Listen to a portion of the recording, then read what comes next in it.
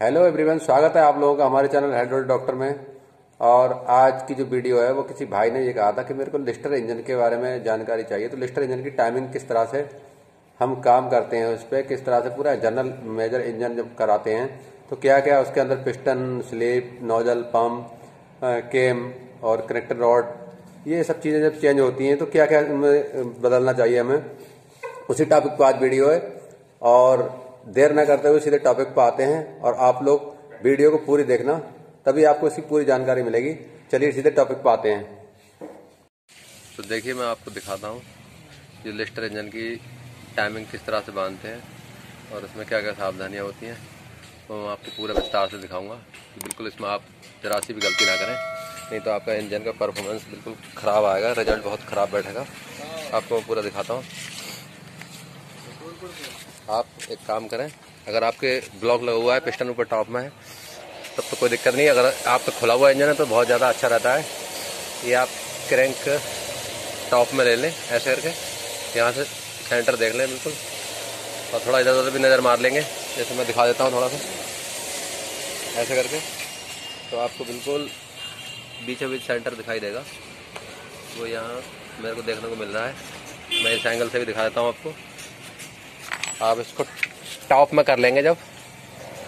उसके बाद में ये आपकी केम है, जो कि इसमें फंस गई है। ये देखिए, ये आपका वो है, ठोकर है इसकी। ये आप यहाँ से तो देखिए फिर इस तरह से आप कर सकते हैं। ये आपके देखो, दोनों बराबर बोलने चाहिए वाल अभी मैं दिखाता हूँ आपको। वो दोनों बराबर बोलेंगे आपके। ये देखिए टॉप हो चुका है। अब ये डाउन में जाएगा। इस तरह से धीरे धीरे ये देखो, अब यहाँ पर आपका, देखिए, दोनों बराबर चल रहे होंगे। आपको देखने को मिल रहा होगा स्क्रीन पे। दोनों बराबर शो करेंगे आपके। बिल्कुल, आप यहीं पर रख लें। जब आपके ये दोनों बराबर बोलेंगे केम से, उसके बाद में आप जो तीसरा गियर है, वो इसमें डाल सकते हैं यहाँ से। और डाल करके, ये मैं अभी डलवा देता हूँ। और डाल दिया है। ये देखिए, मैं इसको दिखाता हूँ। ये गियर यहाँ पर। कोई भी लगा सकता है, बहुत आसानी से। ये गियर आप डाल दें। और उसके बाद में आप इक्कीस नंबर बोल्ट बाहर आ जाएगा निकल के। इसको आप टाइट कर लें। इस पर डबल भी चकनेट कर सकते हैं, क्योंकि ये ढीले उले हो जाते हैं। तो डबल चकनेट करेंगे तो बहुत अच्छा बेस्ट रहेगा। बाकी आप प्लेट हम लगा देते हैं।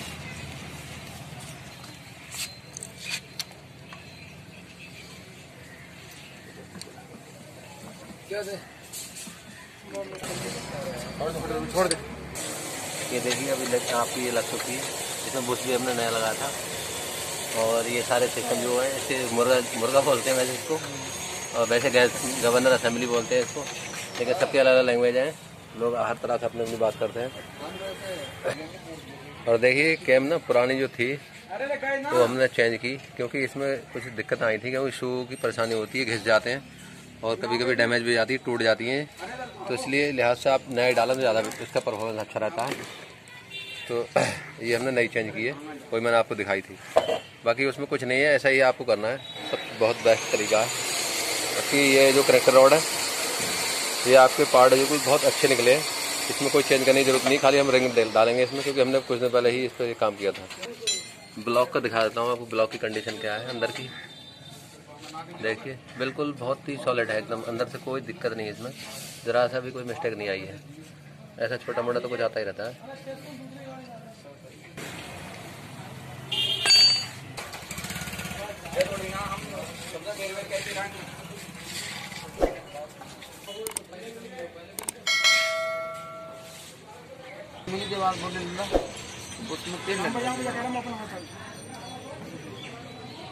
पैसे दे दे चाबी मैं फ़ोन कर कह दे रहा हूँ चाबी मिल जाएगी। मैं फ़ोन करके कह दे तो दीजिए चाबी ये देखिए। ये जो नंबर है आपके दोनों मैच करने चाहिए। और बाकी बिगन की हालत दिखाता हूँ आपको क्या है। देखो बिल्कुल ओके राइट कंडीशन में है। ऑयल ज़रूर डालें इस पर नहीं तो फिर ड्राई चलाने में नुकसान होते हैं आपको। तो हो जाओ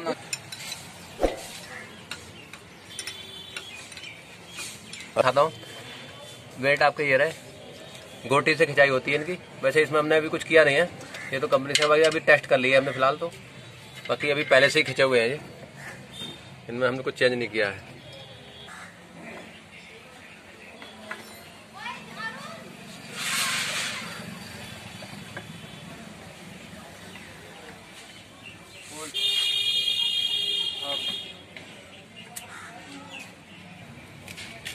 तो देखिए, ये अगर ब्लॉक आपका रिंग फंसे हुए नहीं है और आसानी से आप ये भी काम कर सकते हैं, अगर हमें कंफर्म होना है कि हमारी टाइमिंग बिल्कुल सही है तो आप पिस्टन टॉप पे ले लें, इस तरह से धीरे धीरे ऊपर ले आए। ये पिस्टन हमारे टॉप पर आ गया। अब हमें देखना क्या है कि हमारे ये दोनों बाल बराबर बोल रहे हैं या नहीं? अगर कोई भी, देखिए, बिल्कुल राइट पॉइंट है आपका। ये जो है हाँ पिस्टन की भी कंडीशन आपको बिल्कुल टॉप में दिखाई दे रही होगी। साइड से भी दिखाता हूँ मैं आपको। देखिए, बिल्कुल सही है अपनी जगह पे। बाकी ये इन्होंने अपने सही बोले हैं, ये दोनों बाल बराबर बोल रहे हैं। बस आपका एकदम टाइमिंग एक नंबर बैठेगा। अब आपको कोई दिक्कत नहीं होनी अभी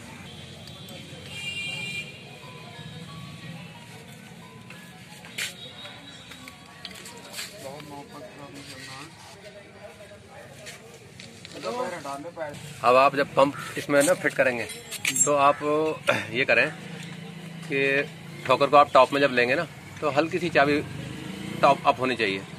इससे क्या होगा, आपको ये नुकसान नहीं होने वाला है कि पंप नहीं टूटेगा आपका। बाकी तो जब स्टार्ट होता है, तभी आके इसकी पूरी प्रॉपर आवाज़ आएगी कि किस तरह का क्या कंडीशन है।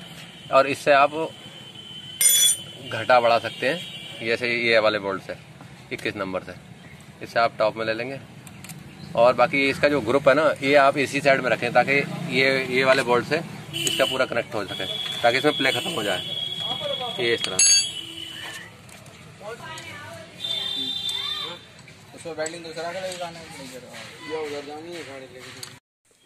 तो फिर आगे का वीडियो ये इस तरह का है कि हेड जो है आप लगा लें चार बोल्ट हैं इसमें बत्तीस नंबर की चाबी लगा लें या पाने का ये या गोटी का यूज़ करेंगे।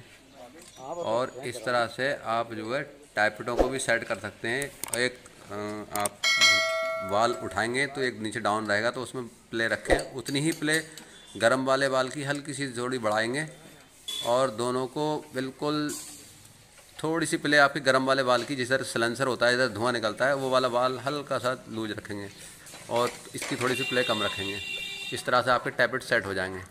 अब आप पंप की ठोकर का तेल देखिए और नोजल का प्रेशर का फवारा भी पता लग जाएगा कि आपका प्रेशर कितना आ रहा है। इसको हम मैनुअली घुमा पा रहे हैं। और देख रहे हैं और आप वीडियो में अंत तक बने रहना दोस्तों, तभी आपको इसकी पूरी जानकारी मिलेगी कि किस तरह का इसके अंदर क्या क्या जानकारियाँ चल रही हैं अभी एक्टिविटी चल रही हैं। और आप जो है अगर स्क्रिप्ट कर देंगे तो वीडियो की अधूरी जानकारी आपको फिर बेकार होती है। देखिए, नोजल लगाई है और नोजल बहुत अच्छी आवाज़ के साथ में फवारा दे रही है सही। पूरा तेल बढ़िया तरीके से प्रॉपर दे रही है और अब इसको हम अंदर लगाते हैं। और लगाने के बाद में प्रेशर पाइप दे करके इसका ट्रायल चालू है। देखिए, ये स्टार्ट हो चुका है। इसकी आवाज़ थोड़ी सी साइलेंट है, जो कि सुनने में अभी सलेंसर नहीं लगाए गए तो अच्छी नहीं लगी तो इसलिए मैंने इसकी आवाज़ म्यूट कर दी, जो कि आप लोगों को सुनने में बहुत ख़राब लगता, क्योंकि आवाज़ जो सलेंसर लगा हुआ होता है तो आवाज़ बढ़िया लगती है। लेकिन इंजन बिल्कुल स्मूथ चल रहा है, बहुत अच्छी आवाज़ है, पूरा तनाके के साथ में आवाज़ दे रहा है इंजन, कोई ऐसी दिक्कत नहीं है। और इस तरह का जो सफ़ेद धुआँ है, अगर ये दिखाई दे आपको तो हल्की सी आप ठोकर को बिल्कुल नंबर आप उसको एक या दो एम mm ऊपर उठा लेंगे। तो इक्कीस नंबर ठोकर मतलब चाबी से लूज करके और उसको उठा लेंगे ताकि ये नीला धुआँ बंद हो जाए और झटके ना ले इंजन अप डाउन ना करे। उसके लिए आप यही सेटिंग है। नोजल का प्रेशर जो कंपनी ने दे रखा है प्रेशर पंप वाले ने, उसमें बिल्कुल छेड़खानी ना करें। तो बहुत लोग होते हैं कि नोजल को ऐंठते हैं, वो गलत काम है। और ये जो है, आप इसे ठोकर से सेट करें, ये चीज़ इसकी आपकी, आप। और कभी भी पंप लिस्टर इंजन का जो स्लो स्पीड है, जब स्लो स्पीड में आप रखेंगे, तभी आपको इसकी पूरी वो जानकारी मिलेगी कि हाँ ये कितने धुआँ दे रहा है। बाकी वीडियो देने के लिए शुक्रिया, करम नवाजिश। और आप लोग हमेशा खुश रहिए, मुस्कुराते रहिए और यही प्यार और सपोर्ट करते रहिए और आगे की नेक्स्ट वीडियो देखने के लिए इंतज़ार